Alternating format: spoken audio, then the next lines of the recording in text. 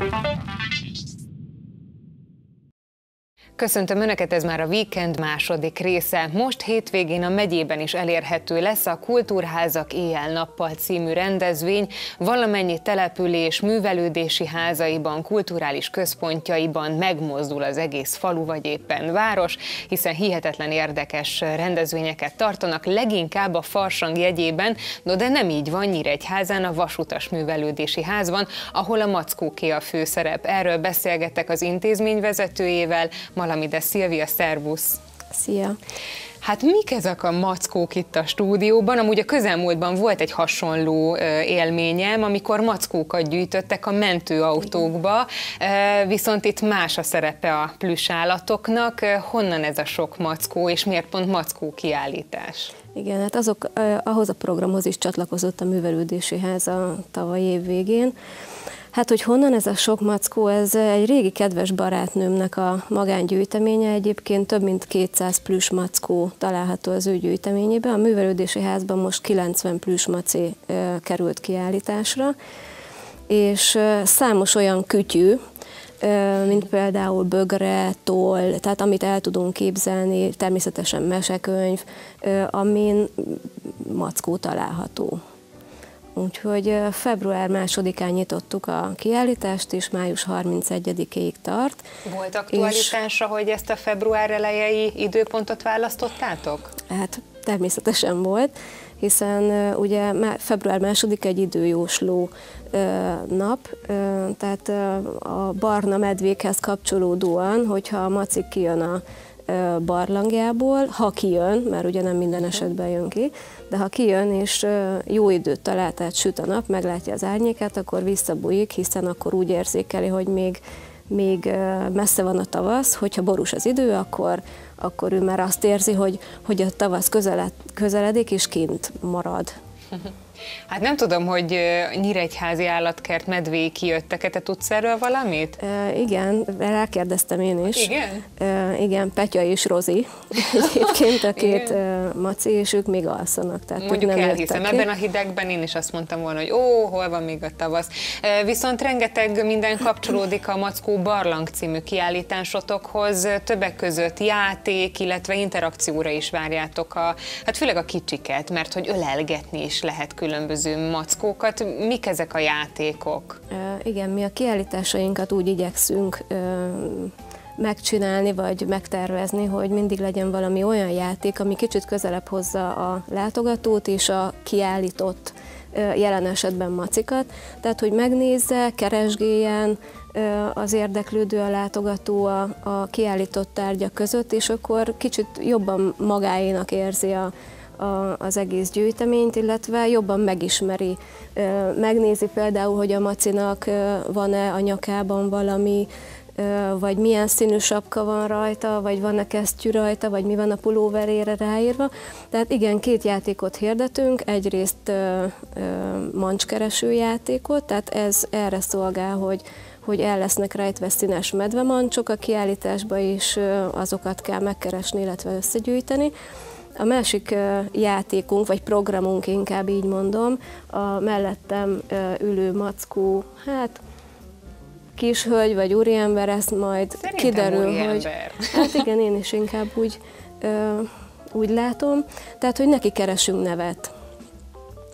A játékban, mindkét játékban résztvevők bekerülnek egy nagy virtuális kalapba, és értékes nyeremények kerülnek kisorsolásra majd a májusi gyereknapi programunkon. Rengeteg mindenre odafigyeltek, tehát például ennél a kiállításnál is azt látom, hogy majd, hogy nem, sőt, tudatos volt az, hogy mikor nyitjátok meg ezt a kiállítást. Ugye itt van a Kultúrházak éjjel-nappal, tehát ez az egyik fő kiállításotok ennek alkalmából, de arra is figyeltek, hogy a mackók ugye a leginkább a gyerekeket érintik, és akkor a gyereknaphoz is kapcsolódtok így a kiállítás vége felé. Mit várhatunk még tőletek 2017-ben? Vannak már esetleg terveitek, ötleteitek? Vannak, hát minden hónapban igyekszünk valami nagyobb programot csinálni, illetve szervezni. Ugye február abszolút a mackókkal telik, illetve hát persze május végéig övék lesz a főszerep, de Márciusban nőnapi rendezvényünk lesz Zentai Edittel, illetve Balogh Béla író spirituális tanítónak lesz majd egy előadása, ezzel kapcsolódunk a nők hetéhez. Áprilisban egészségnapunk lesz, ugye már reméljük, hogy nagyban dübörög a tavasz, úgyhogy mindenki talál majd megfelelő témát az egészségnapon. Májusban ugye gyereknap, júniusban egészségtábor, tehát abszolút igen, igyekszünk minden hónapban egy nagyobb rendezvényt csinálni. Én nagyon szépen köszönöm, Szilvia, hogy elfogadtad a meghívásunkat. Hát leges legkésőbb akkor találkozunk mondjuk egy hónap múlva, mert kíváncsi vagyok, hogy hogyan e, kedveskedtek a nőknek majd ott. Egy biztos, ahogy említettük, ugye a Kultúrházak éjjel nappal már most hétvégén elérhető itt a megyében is. Rengeteg minden lesz, de a részletes információkat megtudhatják a következő percekben itt a weekendben. Február 10-e és 12-e között 11. alkalommal rendezik meg a Kultúrházak éjjel-nappal országos rendezvénysorozatot, amely a művelődési intézményeink legnagyobb érdeklődésre számot tartó programja. Zenés, táncos rendezvények, kiállítások, színházi kulisszatitkok, gasztronómia. Ez csak néhány abból a számos programfajtából, amivel az idei kultúrházak éjjel-nappalon találkozhatnak a látogatók.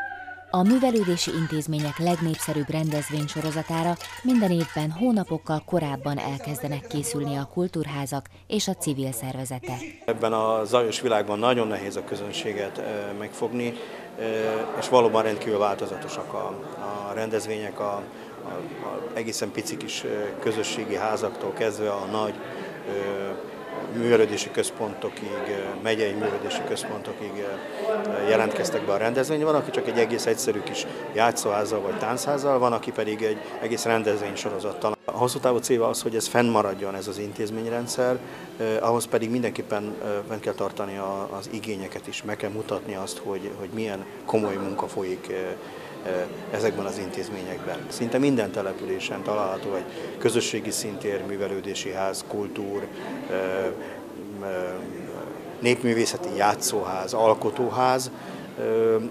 Ezek vannak a legközelebb az emberekhez, ezeket a legkönnyebb elérni. Tehát én azt gondolom, hogy a, a, abban, hogy, a, hogy teljesüljön az alkotmány adta lehetőség az embereknek, hogy, hogy művelődéshez jussanak, ezek az intézmények segítik hozzá őket leginkább. Kultúra az egy költséges ügy, viszont a tét egy országnak az intelligenciája, és azt meg nem, abból meg nem lehet elengedni semmit sem.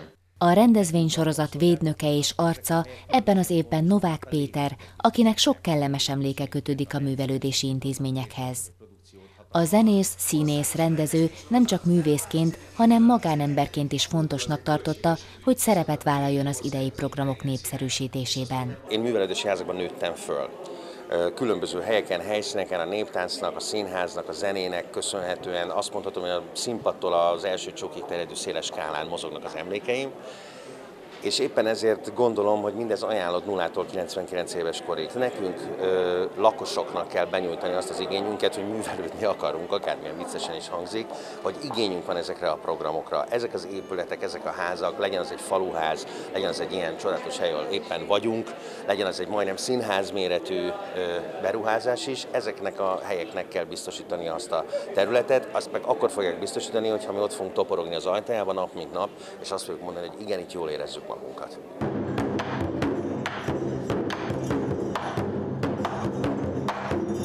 A tavalyi évben 600 intézmény csatlakozásával és több mint 2000 programmal döntött rekordot a rendezvénysorozat, így 2017-ben már nem is lehet más cél, mint még több érdeklődő figyelmét felkelteni a művelődési házak csodálatos világa iránt.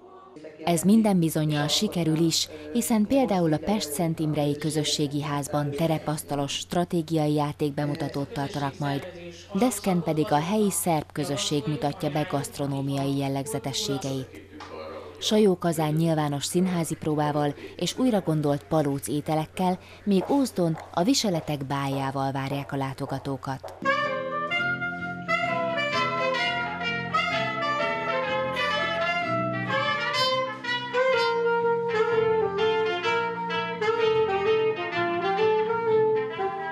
A Kultúrházak éjjel-nappal rendezvénysorozatot 2014 óta az Emberi Erőforrások Minisztériuma is támogatja. A kultúráért felelős államtitkár szerint az idei tematika a mindennapi hagyományaink, a közös értékeink legjavát mutatja majd be. Nagyon fontosnak tartjuk, hogy az értékes kultúra összehozza az embereket és közösséget hoz létre, és az értékes kultúra hozzájárul ahhoz is, hogy magasabb életminőséget éljünk meg. Minden közösségnek nagyon fontos értéke az, hogy milyen hagyományrendet ápol. Ez érvényes a családra, érvényes a, a települési közösségre és a nemzet egészére is. Úgyhogy nagyon örülök annak, hogy a Kultúra Ezek nappal idei programsorozata pont ezt a mindennapi hagyományt ragadja meg, és valóban körül tudjuk járni fővárosban, nagy megyei városban vagy kis településen is, hogy mitől tekintjük a saját identitásunkat fontosnak, mitől vagyunk magyarok a 21. században, mitől vagyunk nemzetiségiek, és ez a hagyományokban gyökerező identitás valójában. A rendezvénysorozat keretében három pályázat is meghirdetésre került, melyeket a www.kulturházak.hu honlapon lehet megtalálni, és itt kereshetnek rá az érdeklődők városok szerint a programokra. Az esemény közösségi oldalán selfie versenyt is hirdettek a szervezők, ehhez a látogatóknak a kedvenc művelődési házuk előtt készült selfiejüket kell feltölteniük az oldalra. A kultúrházak tehát idén február 10 és 12 között várják éjjel-nappal az érdeklődőket országszerte.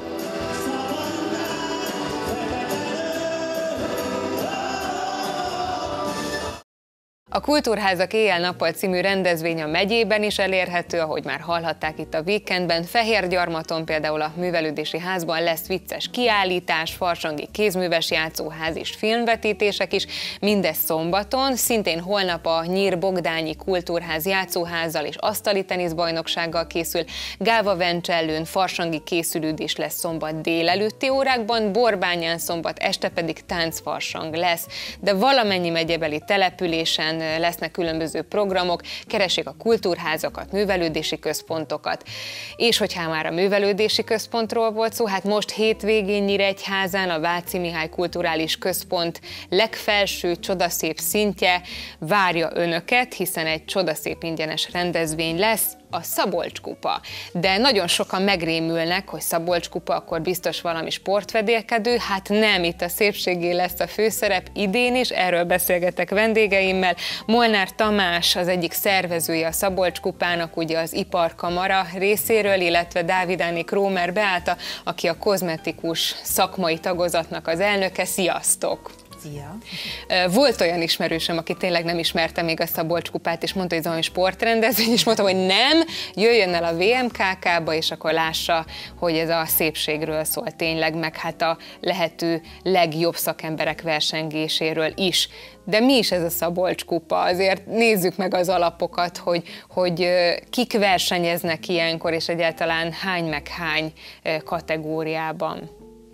15. alkalommal rendezzük idén már a Szabolcs kupát, tehát azért lassan a köztudatba be kell, hogy épüljön. Bár lehetne sportvetélkedő de tényleg ez a szépségiparról szól, ahol a fodrászok, a kozmetikusok és a műkörmösök adnak számot a tudásukról. Nemzetközivé bővültünk már egy pár éve, tehát ez azt jelenti, hogy határon túlról, Ukrajnából, Romániából érkeznek hozzánk versenyzők. Ez felnőtt verseny, tanulóverseny, és évekkel ezelőtt meghirdettük a mesterbajnokságot is. Az pedig egy külön üde színfoltja ugye a versenyünknek.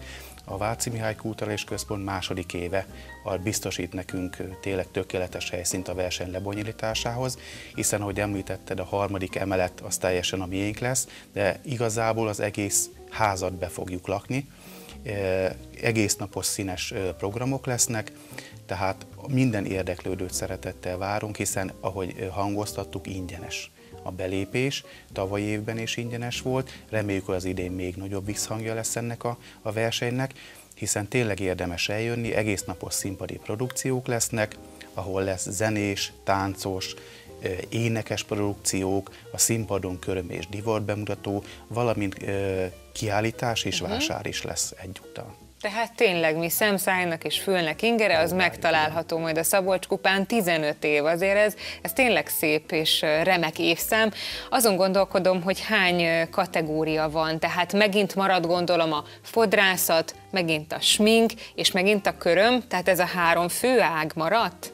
Igen, ez így van, és évről évre egyre több nevezés is érkezik. Az idén több mint 180 nevezés érkezett már ezekre a szakmákra, és hát vannak természetesen sikerszámok, úgymond, uh-huh amik igen nagy nevezői létszámot tudhatnak magukéknak. Például ilyen a női konty, a sminkben az alkalmi smink, például az, ezek mind-mind elég magas nevezői létszámmal rendelkeznek. Most azon gondolkodom, hogy említetted ezt az alkalmi smink kategóriát, hogy egyrészt a versenyzőknek is kedvelt kategória, de ha azt nézem, akkor mondjuk egy nézelődőnek is milyen jó lehet, mert ugye az elmúlt napok, hetekben ország és megyeszerte rendeztek mondjuk ilyen esküvői kiállításokat, ahol mondjuk a házasulandó párok már felfedezték, hogy na akkor nekem ez a konty tetszik, vagy éppen ez a smink tetszik, tehát akár ötletgyűjtésnek is tökéletes lehet egy ilyen rendezvény. Ha már smink kategória, és ugye kozmetika tagozatnak vagy az elnöke, mit látsz amúgy? Fejlődik a jelentkezőknek a minőségek? Kérdezhetem így? Mindenképpen új technikák jelennek meg, és én azt gondolom, hogy nagyon szépen átveszik a versenyzők ezeket az új technikákat. Javarészt, ugye itt már a, nem tudom mennyit mond a nézőknek, a, a ceruza technika, ez egy nagyon szépen satírozható, élénk színekkel dolgozó, nagyon sok variációt magában rejtő technika, nagyon pontos munkát igényel, ami azt gondolom, hogy mindenképpen, aki ezt elsajátítja, az csak fejlődik vele. Ugye itt arról szól ez a rendezvény, hogy a tanulótól tényleg a nagymesterekig mindenki különböző versenyszámokban, de megmutatja, hogy mit tud. A szakma amúgy hogyan tekint erre a versenyre? Tehát tényleg kihívás, tényleg egy elismerés ezen a rendezvényen ott lenni? Tamás? Mindenféleképpen. Ugye pont ez a szándékunk. Egyrészt ugye, ha tanulókról beszélünk, akkor mindenféleképpen ugye az iskolai szakmába is uh-huh. beépítve ezt, valamint ugye felnőtteknél és mestereknél meg hát különösen már egy presztízsnek számít. Természetesen azt elmondható, hogy három ilyen országos nagy rendezvény van hosszú évek óta, és ugye ebbe a megyébe ez az első. Ilyen, ami, ami 15 éven keresztül tart, és hát reméljük, hogy még, még hosszú éveken keresztül fog. Mi mindent meg fogunk tenni ennek érdekében, de természetesen szükséges ehhez, hogy a szakma is mellé álljon, új technológiák, új technikák kerüljenek bemutatásra, és akkor itt mondanám el, hogy nem vagyok ugyan fodrász szakember, de próbálunk mindig újítani, uh-huh. és akkor most ott két új kategóriát talál ki a, a szakembergárda. Az egyik a hajtetoválás, a másik pedig a borbély csata címszóval fog elindulni. A, hajtetó, a hajtetoválás ugye az hát a mostani divat szerint különböző mintákat uh-huh. vágnak a hajba, a borbélycsata pedig az egy ilyen régi típusú dolog, ami a borbélyoknak volt ugye annak idején a, a feladat, és akkor ezt próbáljuk egy kicsit feleleveníteni, ezáltal is színesé tenni. Nem beszéltünk még ugye a műkörömről, a harmadik uh-huh. tagozati elemről. Itt ugye minden évben megvan a, ugyanazok a, a típusok, viszont ugye minden évben más és más a versenynek a kiírása. Ez évben az orhideák címszó lesz, reméljük ugye a tavasz eljön most már minél hamarabb. Marad természetesen a zsel és a porcelán uh-huh. versenyszám az építésben, és van egy 3D média nevezetű kitaláció, itt pedig Magyarország nevezetességé kerülnek porondra. Azon gondolkodom, hogy pár évvel ezelőtt, amikor Tamás a szervező brigád tagja lett, akkor mennyire félt ezektől, most meg már teljesen porcelán, izi, 3D műköröm, most már te is nagymestere lehetsz ennek. Amúgy nagyon jók ezek a fantázia dolgok, ami köré építitek ugye a Szabolcs kupát. Sminknél van valami központi elem, vagy ugyanez az orhidea visszaköszön? Nálunk a versenykiírás az alkalmi sminkben a Hollywood csillaga, illetve lesz fantázias minkünk is, itt pedig az All in Glamour. Természetesen ennek az a pikantériája, és az adja meg ennek a látványosságát is, hogy nincs határ. Bármit használhat a versenyző, bármilyen díszítőelemet, és ami megengedett, gyakorlatilag az előre rajzolt vonalakon kívül mindenféle technikával lehet díszíteni a, a testet, illetve természetesen az arcot. A dekoltázs is az egyik kar festhető, festhető ebben a témában. Tehát én azt gondolom, hogy itt azért eléggé el lehet engedni a fantáziánkat, és látványos dolgokat lehet produkálni és ezeket meg is lehet majd nézni. Vasárnap reggeltől késő délutánig a VMKK-ban, ugye Nyíregyháza szívében, a Szabadságtéren. Én köszönöm szépen, hogy jöttetek és elfogadtátok a meghívásunkat. Egy érdekességet még nektek is mondok. Tavaly vagy tavaly előtt az egyik ilyen Szabolcs kategória versenynél a műkörmösök között egy férfiúra akadtam, teljesen meglepődtem, úgyhogy nem feltétlen csak a hölgyek azok, akik mondjuk ügyesek a körömkészít építésben, ugye hány fodrász, jó fodrászmester férfiú, lehet, hogy a körmös szakma is majd elférfiúsodik egy idő után, de mindegy, majd meglátjuk, hogy most hány férfi fog majd ott versengeni. Viszont más témával forgatjuk, képzeljék el, hogy Nyíregyházan a Petőfi Sándor általános iskola 5. B osztálya igazán szerencsés, már most az igazi életre készíti a diákokat Roma Ádám osztályfőnök, ráadásul eléggé interaktívan, hiszen különböző munkakörökkel ismerkednek meg az ötödikesek. Volt már náluk tánctanár, foci edző, rádiós, hogyha jól tudom, akkor e, doktorbácsi is, és ezen a héten egy humorista, Bruti látogatott el hozzájuk, íme a részletek. Osztály, vigyázz, tanár úrnak jelentem, az osztály tanulásra készen áll. Jöttek hozzánk ö, foci, hát foci edzők, ö, például orvo, gyermekorvos, ö, jött hát tánctanár esetleg. Hát nekem például a tánctanár tetszett a legjobban. És neked? Hát nekem is a tánctanár volt a kedvencem, mert hogy én is versenytáncolok. Milyen foglalkozásúak voltak még nálatok vendégek? Te mire emlékszel vissza szívesen? Hát volt nálunk egy ilyen autós cégvezető, meg volt még gyermekorvos, meg hát ilyen Bringa szigettől a főnök. Több embert hívtam már, több különböző területről. Ahogy a gyerekek is mondták, volt egészségügyi szakember, kerékpáros, futbalista, tánctanár, rádióigazgató, és ugye most a mai órára pedig egy stand-up comedy hívtam meg. A célom az, hogy a gyerekek különböző szakterületekkel megismerkedjenek, és legyen egy olyan jövőképük, hogy mit is szeretnének esetleg felnőtt korukban majd dolgozni. Úgy veszem észre, hogy nagyon örülnek ezeknek az óráknak, már várják.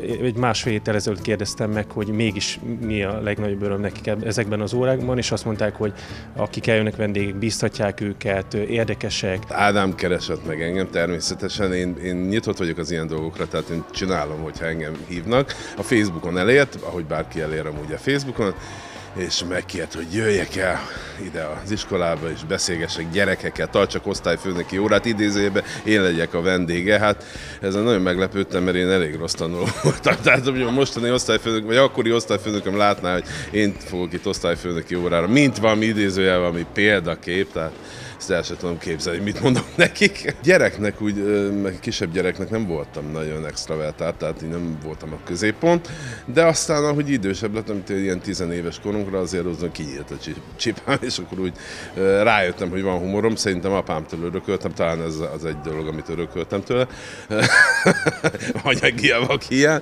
és, és Hát nem, nem tudom, hogy kiből lehet jó stand mert köztünk is rengeteg fajta van, tehát akik nézitek a Sódai Klubot, nézitek a Comedy Centrát, hallgatjátok a rádiókabarét, akkor tudjátok, hogy vannak nagyon visszahúzódó, nagyon csöndesek, de nagyon elméseket mondó srácok, vannak, akik nagy képpel, nagy dumával jönnek, ilyen kocsmai, idézőjelben kocsmai dumával, a testílusodat honnan lehet felismerni, hiszen van neked egy hangszered, ami már-már elengedhetetlen kellék a kezeidből. Akár ez is sajátosság a Brutinak? Hát nyilván ez egyik védjegyem, hogy gitározom. Én ugye zenész voltam, eredetileg rockzenész, blueszenész, és akkor utána lagzi zenész is voltam, tehát mindent megjártam. Majd el, már nagyon régen kezdtem én bolondalokat írkálni, és egyszer szóltak a barátaim, Hatházi Laci, hogy mi lenne, ha eljönnél a kabarébe, és akkor írnánk vicces dalokat. Jó, menjünk. És én így is indultam, hogy vicces dalokat fogok írni, aztán rájöttem, hogy van még mondani valam ezen kívül is, úgyhogy azóta beszélek is. Lehetne ilyet énekelni, például majd írhattuk ilyen dalokat is, hogy ül a suliban, és azon gondolkodom, hogy minek ülök én hiszen olyan okos vagyok. Ugye, hogy ilyen dalokat lehetne írni, hát ennek nem sok értelme lenne, úgyhogy majd egy másik dalt fogunk csinálni nektek. Van egy olyan dalom különben, hogy a háromlábú bogár. Most mit nevettek? Hány lába van egy bogárnak? Biológia, vagy mi? Hat. Mi? Hat? Hat. És egy póknak? Az rovar. egy póknak hány lába van? Nyolc! Nagyon jó, kiváló vagy. És melyik bogárnak van három lába? Megmondom én neked, amelyiknek hat lába volt, csak háromszor lecsapták. Mindig elvesztett egy lábat, egy repül a házba, és ott mivel találkozik egy légycsapóval. Mindig rácsapnak egy, már megint eltett egy lábon, és akkor repül tovább. Oké. Okay. A három lábú bogárnak három lába volt, mégis stabilabban állt, mint barátja a bog. A három lábú bogár a lábát jól szedi, párcipő kevés neki. Ne feledjék most hétvégén kultúrházak éjjel-nappal, valamennyi településen, a művelődési központokban, kulturális helyeken, különböző fesztiválok, kiállítások, farsangi mulatságok várják önöket, illetve Nyíregyházán a Szabadság téren a Váci Mihály Kulturális Központban rendezik meg 15. alkalommal az ingyenes Szabolcs kupát, ahol a fodrászok, sminkesek és műköröm építők, díszítők versengenek majd a legjobbaknak jár járó érmekért, kupákért. Én munkatársaim nevében is köszönöm szépen megtisztelő figyelmüket, hogyha lemaradtak volna a weekend első részéről, akkor klikkeljenek a kölcseitv.hu-ra, ott korábbi műsorainkat is megtalálják. Viszont látásra egy hét múlva találkozunk. thank you